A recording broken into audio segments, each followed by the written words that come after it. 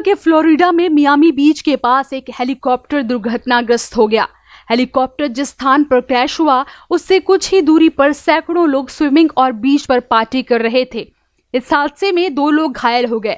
हालाँकि इलाज के दौरान एक पुलिसकर्मी की मौत हो गई। हेलीकॉप्टर में तीन लोग सवार थे।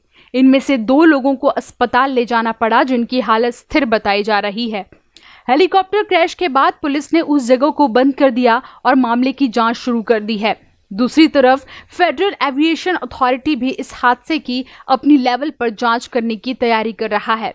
इस वीडियो में देखा जा सकता है कि पूरा बीच लोगों से भरा हुआ है।